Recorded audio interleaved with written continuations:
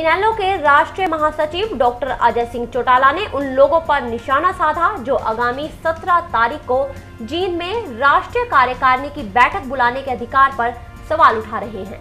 अजय चौटाला ने अपनी बुलंद आवाज़ में पूछा कि वो कौन है और आज से चार वर्ष पहले वो कहाँ थे? पहले ये बताएँ। अजय चौटाला ने कहा कि सबसे पहले उन्हें पार्टी का संविधान पढ़ना चाहिए। उन्हें पढ़ना चाहिए कि पार्टी के संविधान में क्या लिखा है।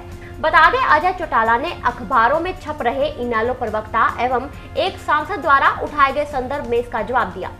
जानकारी के अनुसार अजय सिंह चौटाला कार्यकर्ताओं और पदाधिकारी से मिलने एवं उन्हें 17 तारीख को होने वाली बैठक का निमंत्रण देने सोनीपत पहुँचे थे, जहाँ उन्होंने राष्ट्रीय कार्यकारिणी की बैठक को लेकर उठ रहे सवालों का मुँह तोड़ जवाब दिया। नीति तो सत्रह तारीख की है, सत्रह तारीख को ही डिसाइड करेंगे, सारे साथी बैठ कर मैं तो आज सोनीपत जिला के कार्यकर्ताओं से मिलने के लिए उन्हें निमंत्रण देने के लिए आया हूँ। कि सत्रह को वहाँ आए सारे पदाधिकारी वहाँ पहुँचे। बैठ कर के फैसला करेंगे।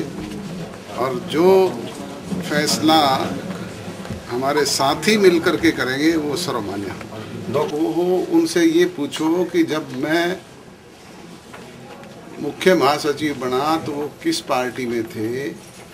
उनकी हैसियत क्या है वो मुझे बताएँ तो सही। मेरी हैसियत को ललकारना उनका काम नहीं है। तो अजय जी अजय जी। पार्टी में सर्वे सर्वा होता है प्रधान।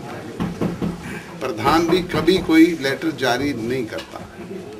पार्टी के आदेश पे ऑफ़िस सेक्रेटरी चिट्ठी जारी करता है और उनको पूछ लो कि तुम्हारी पिछली जो मीटिंग हुई है उनकी मिनट्स कहाँ है? वो कहाँ है? राष्ट्रीय महासचिव की जिम्मेवारी होती है सारा का सारा सिस्टम चलाने की। और ये ये अनाधिकार चेष्टा ना करें तो वो अच्छा है। वो संविधान को पढ़ लें उसको देख लें। पहचान कर तो रहे हैं उनकी। सत्रह तारीख नौ बजे सत्रह तारीख हो जाएगी वो कर ही रहे हैं बता बीच बीच में बता भी रहे हैं सारी बात हो रही है। अजय जी। सारे लोग करते हैं आप भी हमारे वेलविशर हो।